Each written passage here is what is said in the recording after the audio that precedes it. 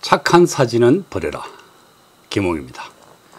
오늘은 달랑 두 장의 사진을 가지고 촬영이 반, 암실이 반이라고 하는 주제를 여러분과 함께 나누어 보도록 하겠습니다.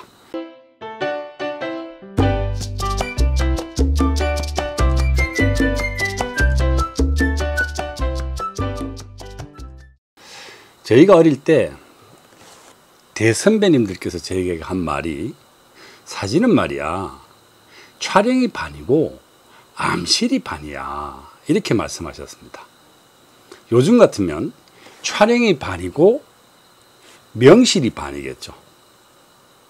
포토샵이라든지 Lightroom이라든지 이런 것이 이런 것의 역할이 사진 촬영, 사진에 있어서 반 이상을 차지한다는 말이 되겠습니다.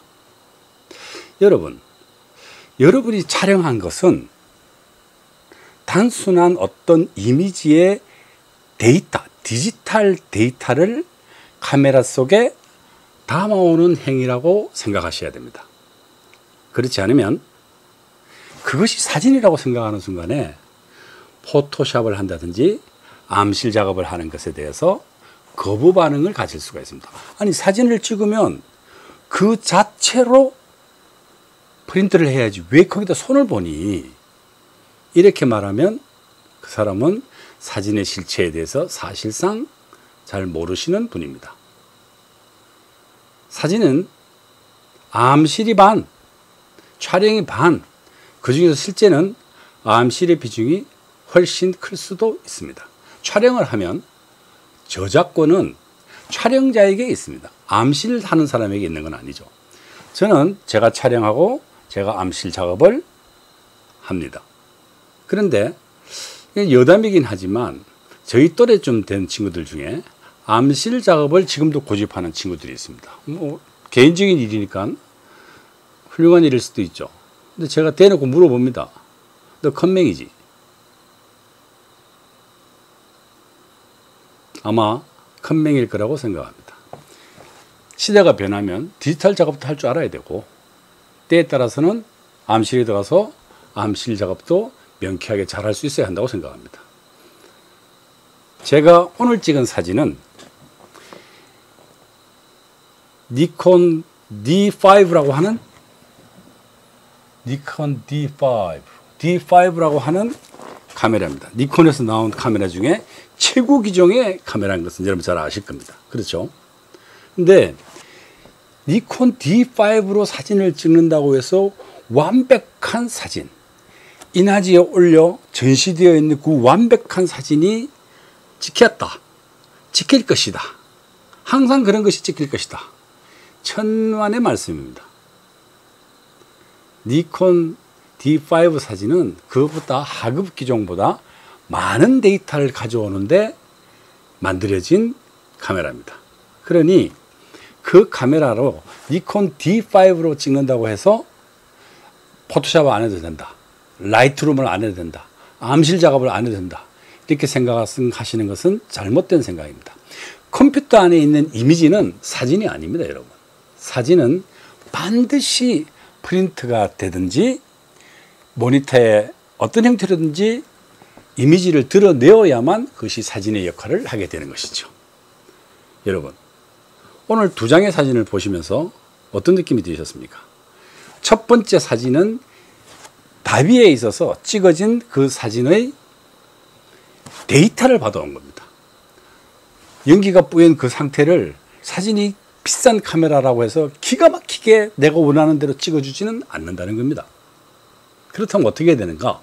제가 원하는 이미지를 찍고 결과를 생각해서 찍어 저희는 찍을 때 이미 결과물을 생각합니다.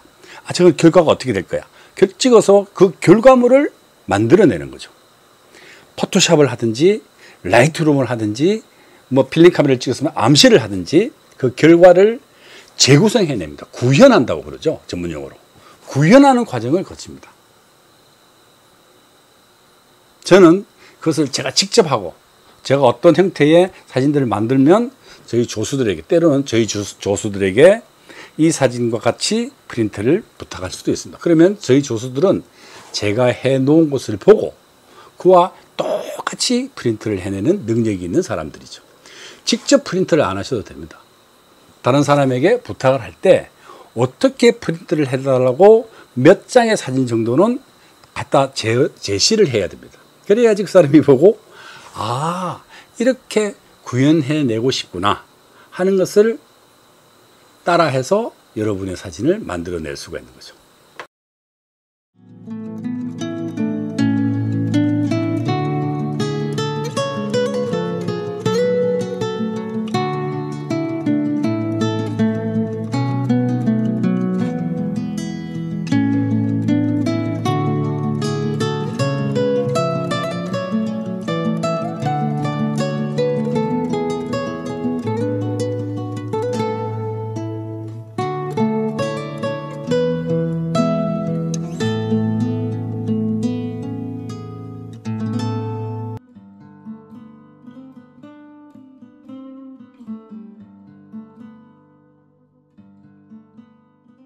D5 이런 카메라를 니콘이 재생 새로 새로운 카메라를 생산을 하면 저에게 2년 정도 빌려줍니다. 그리고 2년 지나면 새로운 카메라를 또 바꿔준다. 완전히 새 카메라를 바꿔주는 거죠.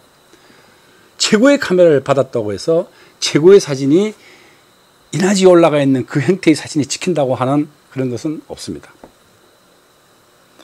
니콘 카메라가 저한테 주는 것은 그 카메라 D5를 받아서 찍어서 그 사진을 이나지로 옮겼을 때 D5가 가지고 있는 특성과 제가 가지고 있는 사진가적 해석을 원숙하게 해내어 원숙하게 처리해서 니콘의 명성에 누가 되지 않을 것이라고 생각하기 때문에 니콘 D5를 주는 것이라고 저는 생각합니다. 여러분, 다시 한번 사진을 보도록 하겠습니다. 앞 사진은 보시다시피 명료한 상태의 사진이 아닙니다. 그러나 흑백으로 전환해서 포토샵으로 손본 사진은 뭔가 이미지가 달라져 있는 것을 여러분 보실 것입니다. 어떻습니까?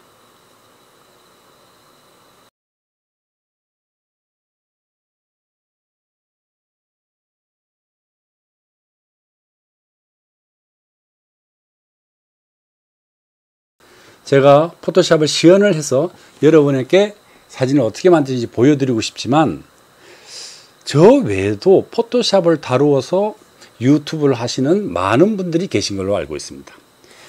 포토샵을 다루어서 사진을 배우는 것은 사진을 만드는 것은 그런 분들의 유튜브를 활용하시기 바랍니다. 저는 가능하면 사진이 철학, 인문학과 어떤 관계가 있고 여러분이 하는 사진 행위가 무슨 행위인지 사진은 여러분에게 서 무엇인지 하는 것에 대한 담론을 나누어 보려고 합니다. 그것이 제가 여러분과 함께 하고자 하는 의미이고 목적입니다. 많은 사람들이 카메라 얘기는 하고 많은 사람이 장비 얘기는 하지만 그거는 그 사람들이 잘 하시는 것은 그, 그분들에게 맡기는 거죠.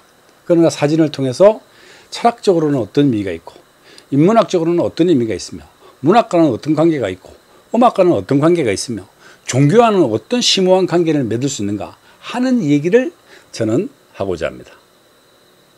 오늘 두 장의 사진을 가지고 여러분들과 함께 말씀을 나누어 봤습니다. 촬영이 반, 암실이 반이다.